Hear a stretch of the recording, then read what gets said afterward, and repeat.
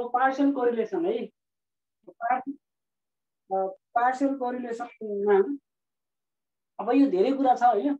यो खासै इम्पोर्टेन्ट छैन तर कहिले काहीँ पार्सल कोरिलेसन र मल्टिपल कोरिलेसन इक्जाममा सोध्छ। त्यो टेबलमा एक दुई मासमा सोध्छ। यो फर्मुला मात्रै लेखेको छु मैले यो तपाईँले पढ्ने काम मात्रै अब यहाँ पार्सल कोरिलेसनमा चाहिँ अब हामीले दुईवटा मात्रै भेरिएबलको केसमा त हामीले कोरिलेसन भनेर छुट्टै च्याप्टरै पढ्यो। कोरिलेसन सिम्पल कोरिलेसन निकाल्ने फर्मुला पढेको थियौँ। तर त्योभन्दा बढी भेरिएबल भएको बेलामा चाहिँ कोरिलेसन कसरी निकाल्ने? दुई वा दुईभन्दा बढी भेरिएबल भयो भने तिनवटा चारवटा भयो भने कसरी निकाल्ने भन्ने कुरा छ। हामीले सिम्पल कोरिलेसन निकाल्न त सकिहाल्छौँ तर यहाँ पार्सल कोरिलेसन भनेको दुई वा दुईभन्दा बढी कपिसेन्टहरूलाई कपिसेन्टको माध्यमबाट हामीले के गर्ने त भन्दा कोरिलेसन निकाल्ने। यहाँ चाहिँ तिनवटाको मात्रै छ है? अब यहाँ के छ? तिनवटा छ। कोरिलेसन पार्सल कोरिलेसन भनेको स्पर आले डिनोट गर्ने र मल्टिपल कोरिलेसनलाई क्यापिटल आले डिनोट गर्ने। डिफ्रेन्ट युनिटमा यति छ एउटा अर्को के छ भन्दा पार्सियल कोरिलेसनको रिजल्ट अथवा पार्सियल कोरिलेसन जहिले पनि माइनस वानदेखि प्लस वानको बिचमा हुन्छ। हामीले क्यालकुलेसन गरेको पार्सियल कोरिलेसनको भ्यालु माइनस वानदेखि प्लस वानसम्म हुन्छ यसको एउटा प्रब्लम त्यसै गरी मल्टिपल कोरिलेसनको भ्यालु भनेको जिरोदेखि वानको बिचमा हुन्छ। यसको प्रोपर्टी हो यो। एउटा यो जान्नु पर्यो। अर्को फर्मुला छ यहाँ। Partial correlation coefficient between x1 and x2 by keeping x3 as a constant. x3 constant हुँदाखेरिको फर्मुला यो हुन्छ। X2 constant हुँदाखेरिको फर्मुला यो हुन्छ र x1 हुँदाखेरिको फर्मुला यो हुन्छ। यो तपाईँलाई अब याद गर्ने कुरा भयो है? त्यसै गरी मल्टिपल कोरिलेसन हेऱ्यो भने के छ भन्दा मल्टिपल कोरिलेसनमा पनि तिनवटा। मल्टिपल कोरिलेसनको अप्सन हो भने X one depends upon X two and X three X one चाहिँ एक्स टू र एक्स थ्रीमा डिपेन्ड भयो भने यो फर्मुला हुन्छ। अनि अर्को फेरि x2 depends upon x1 and x3 x1 and x3 x1 र x3 मा डिपेन्ड भन्ने हुन्छ र multiple correlation when x3 depend upon x1 and x3 x3 x1 and यहाँ मिस्टेक भएछ यहाँ चाहिँ x2 है x2 x3 depends upon x1 and x2 भनेर तपाईँले यो चाहिँ अब सम्झाउनु पर्यो है अब यसको विकल्प कुनै त्यस्तो भयो जस्तो मलाई लाग्दैन है जस्तो जस्तै अब डिपेन्डेन्ट र इन्डिपेन्डेन्टको कुरा छ है? ल तपाईँलाई एउटा सठिक मैले एउटा मैले बुझाउन चाहेँ यो यो वान र टू यो वान भनेको चाहिँ सलमान खान। सलमान खान। अनि यो टु र थ्री भनेको चाहिँ यो चाहिँ ऐश्वर्या र कट्रिना यो चाहिँ कट्रिना अब हेर्नुहोस् है। ऐश्वर्या सलमान खानको सम्बन्ध ऐश्वर्या र कटिना कटिना दुइटैसँग हो नि। तपाईँले हिन्दी मुभी त कति हेर्नु भएको छ हेर्नु भएको छ। होइन? अब यहाँ हेर्नुहोस् है यो सलमान खानको सम्बन्ध केसँग? ऐश्वर्यासँग पनि कटिनासँग पनि हो। त्यही भएर अब यहाँ सम्झन सजिलो हुन्छ पहिलो भनेको चाहिँ X one depends one depends केमा भएको छ? ऐश्वर्या र कटिनासँग डिपेन्ड भएको छ। ऐश्वर्याको सम्बन्ध ए सलमान खानको सम्बन्ध ऐश्वर्या र कटिनासँग भएको छ भनेपछि सलमान खान वान भनेको सलमान खान। हो अनि पहिलो ऐश्वर्यासँग सम्बन्ध भयो। प्लस फेरि सलमान खान र कटिनासँग सम्बन्ध भयो। स्कर भयो। अनि माइनस माइनस फेरि के हुने भयो त भन्दाखेरि वान र टू भनेको सलमान खान र ऐश्वर्या। अनि वान र थ्री भनेको सलमान खान र कटिना। अनि फेरि के हुनसक्छ टु र थ्री ऐश्वर्या र कटिना भन्दै लेख्नु सम्झने तरिका। है यो लोजिकको त्यसरी अन्यथा नलिनु। अनि अपनमा चाहिँ के हुन्छ? वान माइनस आर स्क्वायर अनि टू थ्री यसरी सम्झ्यो भने तपाईँलाई के हुन्छ सजिलो हुन्छ है। यो जस्ट इक्जाम्पल मात्र दिएको है भने त्यतिको यो फेरि अनावश्यक चाहिँ नसोध्नु भनेको के गरेको भन्दा एक्स वान चाहिँ एक्स टू र एक्स थ्रीमा डिपेन्ड हुँदाखेरिको फर्मुला सिमिलर त्यसै गरी यो पनि फर्मुला हो। यो सम्झिने काम चाहिँ तपाईँको भयो खास इक्जाममा चाहिँ सोध्दैन तर त्यहाँखेरि एकदम सोध्ने खालको छ। तर यो कोरिलेसनै भनेर चाहिँ खासै चाहिँ मलाई लाग्दैन है। त्यसपछि अब अर्को भने आज धेरै फर्मुला मात्र भन्दैछु है तपाईँहरू आज आधी घन्टा मात्र पढ्छ मैले मेन्ट यहाँलाई लेख्नु भएको छ होइन फर्दा अब बुक हेर्दाखेरि यताउति यहाँ लेख्नु भयो भने त सजिलो ल त्यसपछि अब तपाईँले अर्को सम्झाउनु पर्ने एकदम इम्पोर्टेन्ट सम्झ sum of sum of square sum of square of error sum of square of error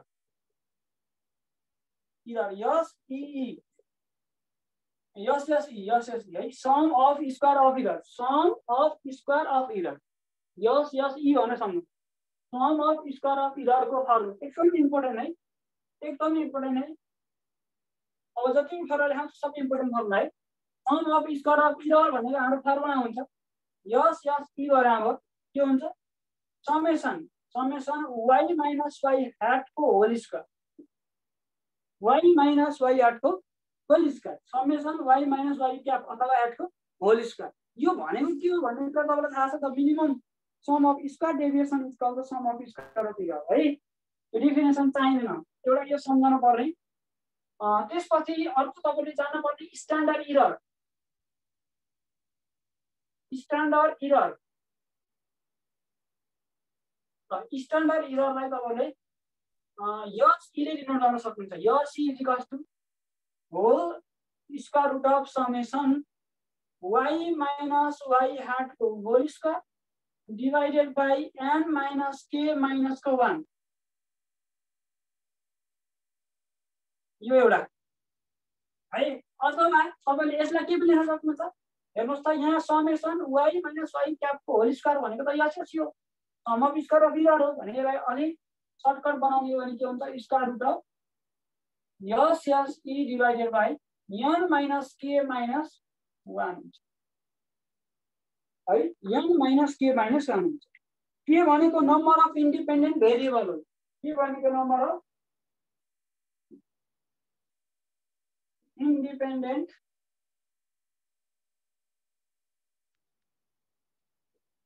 variables के भनेको नम्बर अफ इन्डिपेन्डेन्ट भेरिएबल्स भयो स्ट्यान्डर्ड क्लियर थाहा भयो तपाईँलाई अथवा अर्को फर्मुला हामीले पछि हाइपोथेसिसमा तपाईँलाई एउटा फर्मुला छ स्ट्यान्डर्ड इरर भनेको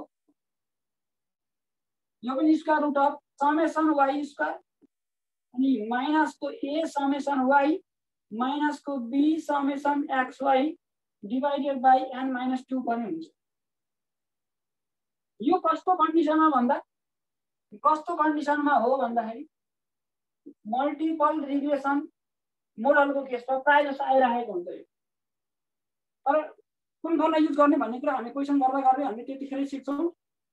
मल्टिपलमा चाहिँ प्रायः जस्तो कहिले यो युज गरे पनि हामीलाई सजिलै सुन्ने एन्सर आउँछ। क्यालकुलेसन गर्न सजिलो हुनसक्छ तर तपाईँले दुइटै फर्मुला सम्झिनु तर यो नसम्झे पनि यो चाहिँ तपाईँले सम्झिनु होला।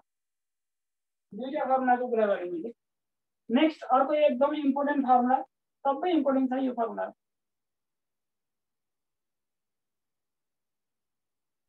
तलको फर्मुलालाई मल्टिपल स्ट्यान्डर्ड हो अघि लेखेको हजुर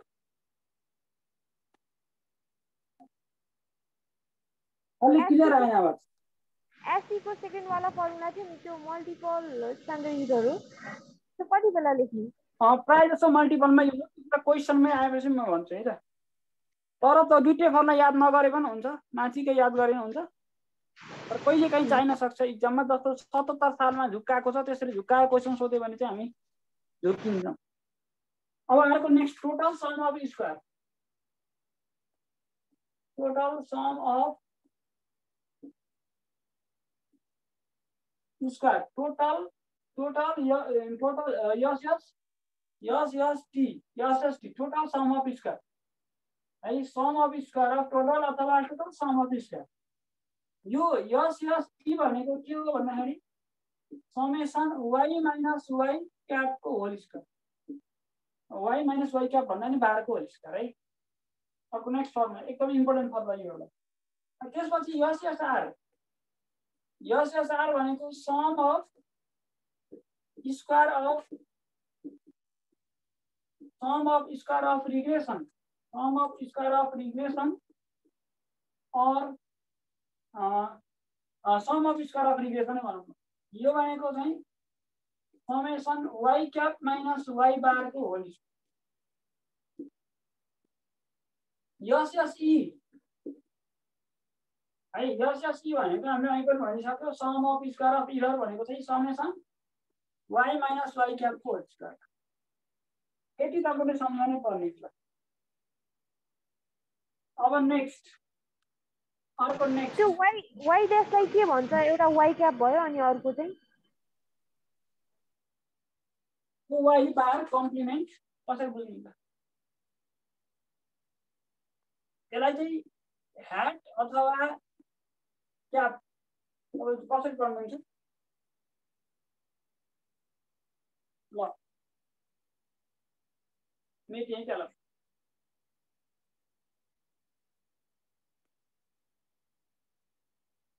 यसपछि अर्को next important formula the coefficient of determination the coefficient of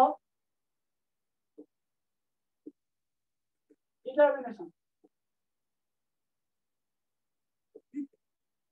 यो पनि एकदम इम्पोर्टेन्ट क्वेसन यो फर्मुला आउँछ। तपाईँलाई पार्सियल मल्टिपल भन्दा बढी चाहिँ यो कफिसेन्ट अफ डिटर्मिनेसन सोध्छ। त्यसलाई आर स्क्वायरलाई डिनोट गर्ने यो भनेको sum of square of regression sum of square of regression divided by total sum of square total sum of square यो भनेको के भयो एसएसआर डिभाइडेड बाई एसएसटी अब हामीलाई थाहा छ एसएसआर भनेको के हो एसएसटी माइनस एसएसई पनि हुन्छ डिभाइडेड बाई एसएसटी त्यसलाई सल्भ गर्ने भने SST divided by SST minus SSE divided by SST त्यसलाई यो काट्थ्यो one minus SSE divided by SST पनि हुन्छ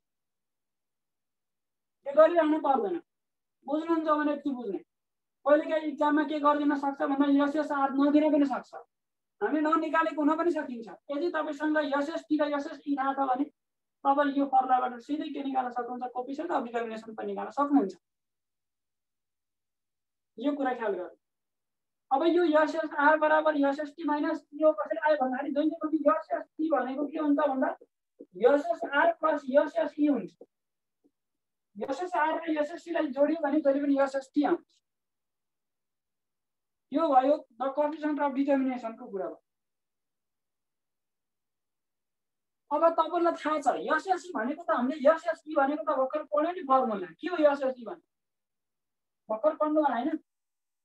भर्खर लेखाएको formula y summation y minus y क्यापको whole square divided by summation y minus y बारको whole square SST भनेको summation y minus y क्यापको whole square divided by summation y minus y बारको whole square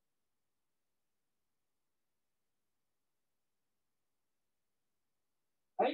commission of determination बाबा a summation वाइको फर्ममा यदि छ भने त्यस्तो बेलामा पनि अर्को यसैको है अरमा अरमा तपाईँले के पनि हेर्न सक्नुहुन्छ भन्दा R square equals to a summation y प्लसको b summation x y minus n y कम्प्लिमेन्टको whole square divided by summation y square minus n summation y एलवाइ बाईको होल स्क्वायर जस्तै तपाईँले यो सतहत्तर सालको क्वेसनमा यो सिधा गरेर नमिल्ने अलिक घुमाएको क्वेसन छ। हेर्नु भएको छ कि छैन? सतहत्तर सालको लङ क्वेसन सुरुको क्वेसन अलिक कता कता देख्दाखेरि गाह्रो जस्तो गराएको छ यो। यस्तै यस्तै फर्मुलाबाट भित्रबाट क्वेसन दिएको छ। है? यताबाट गर्न सजिलो हुन्छ यो भयो हाम्रो के? द कोफिसियन्ट अफ डिटर्मिनेसनको के सक्यो? त्यसपछि अब अर्को नेक्स्ट नेक्स्ट अर्को formula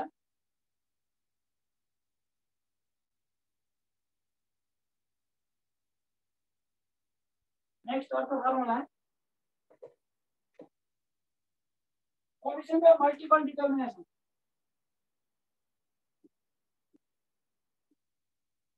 coefficient of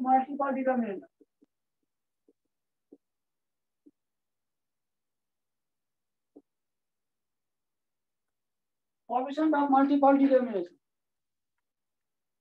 r square y1 2 भनेर डिफाइन गर्छु मैले है जे भनेर डिफाइन गरेको हुन्छ.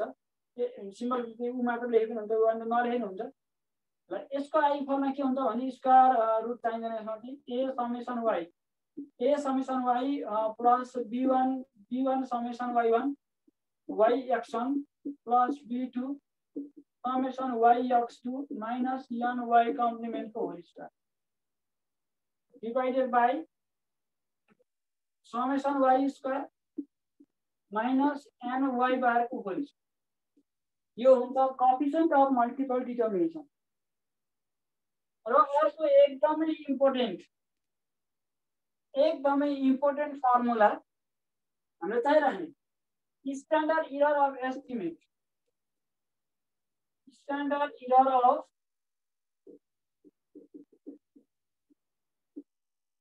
standard error of estimate एसईले denote गर्ने square root of summation y square minus a summation y minus to b1 summation y x1 minus b2 summation y x2 by uh, n minus 3 हुन्छ अब यो y भनेको dependent variables x1 and x2 are independent variables y भनेको dependent variables हुन्छ यहाँ where y भनेको dependent variables हो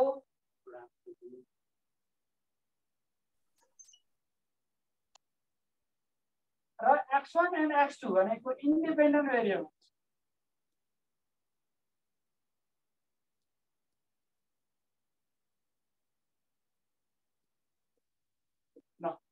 dependent variables र इन्डिपेन्डेन्ट भेरिएबल्स भयो हाम्रो कपिसन अफ मल्टिपल डिटर्मिनेसन पनि हामीलाई थाहा भयो है यति हाम्रो यो च्याप्टर नम्बर थ्रीमा हामीले जान्नुपर्ने फर्मुला यति हो हामीले सिम्पल मल्टिपल मोडल र सिम्पल मोडल र सिम्पल रिग्रेसन मोडल र मल्टिपल रिग्रेसन मोडल पढ्यौँ त्यसमा पढ्न बाँकी भनेको एउटा पाराबोलिक एक्सपोन्सियल छ। पाराबोलिक एक्सपोन्सियल तपाईँले आफै इक्जाम्पलमा हेर्नुहोस् त्यति इक्जाममा छ इक्जाममै इम्पोर्टेन्ट छैन।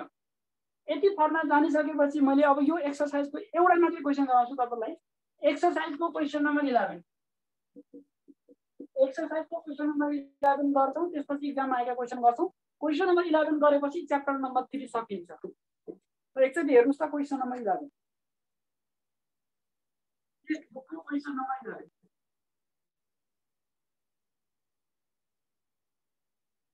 time कति छ पैँतालिस भएछ क्वेसन बुक बुक हेर्नुहोस् त